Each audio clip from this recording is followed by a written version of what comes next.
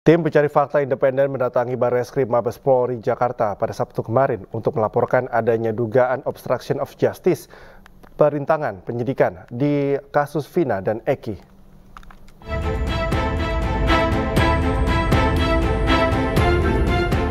Sekelompok pengacara yang tergabung dalam tim pencari fakta independen mendatangi Barreskrim Mabes Polri Jakarta untuk melaporkan dugaan upaya perintangan penyidikan dalam kasus pembunuhan Vina dan Eki 2016 lalu. Tim ini mengklaim memiliki bukti bahwa keluarga dan pengacara terpidana inisial E mencoba memberikan uang untuk memberikan kesaksian kepada saksi T. Jadi saya tutup dulu terlap nama-nama terlapornya sini siapa. Oke. Jadi uh, kita melaporkan karena kita menemukan bukti bahwasanya saksi T ya. Saksi T uh, didatangi oleh keluarga terdakwa terpidana mohon maaf keluarga terpidana.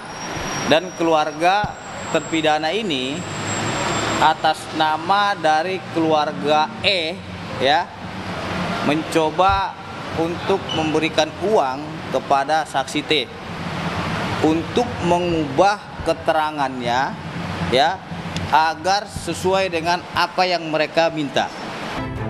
Tidak hanya itu, dugaan adanya identitas ganda juga disampaikan dalam pelaporan ini. Dugaan identitas ini terkait dengan nama, ya. Jadi kita ketahui sesuai dengan Undang-Undang Data Perlindungan Pribadi itu dilarang, nggak boleh. Kalau memang nama kita satu ya itu aja. Ada sanksi pidana yang mengatur terkait dengan uh, dua identitas nama seseorang. Itu merujuk kepada pihak?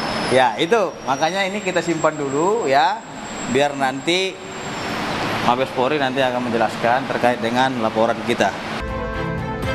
Tim pencari fakta independen ini juga meminta polisi segera mengusut jika ada upaya-upaya obstruction of justice perintangan penyidikan yang semakin membuat kasus Vina dan Eki semakin rumit.